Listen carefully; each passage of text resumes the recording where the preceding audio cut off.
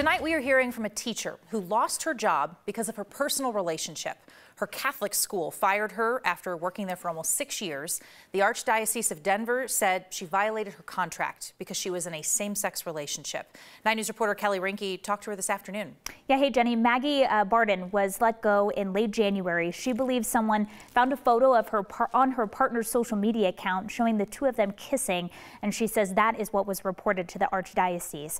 Barton taught technology media at All Souls Catholic School in Englewood.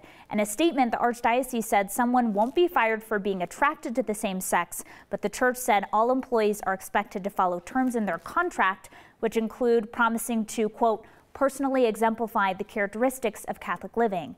The church said Barton's relationship violated that contract. In the contract, the line is kind of vague, ambiguous, I guess, just embodying Catholic values. And you know, I take that as if I reflect on my own life, do I embody those values? Yes, I believe that I do.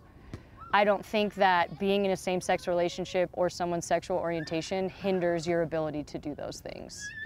Barton says she feels like she's lost her second family, but she says she's very appreciative of the love and support people in the All Souls community have shown her. I'll have more from Barton coming up tonight on 9 News at 9 and 10. All right, Kelly, we will look for your story then. Thank you.